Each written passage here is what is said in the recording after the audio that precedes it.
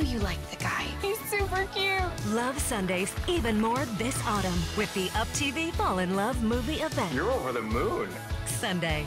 Can an insecure wedding planner Just be yourself. and a bashful barista I'm so, so, so sorry. find true love Seriously, what can I do to make it up to you? to grow the perfect romance? You and I are going to create a rooftop garden. It'll take a lot of heart and flowers. You know how to take something you're passionate about, make it happen. He's a coworker, and he's kind of your boss on this. He's not just a coworker. You do need to tell him how you feel.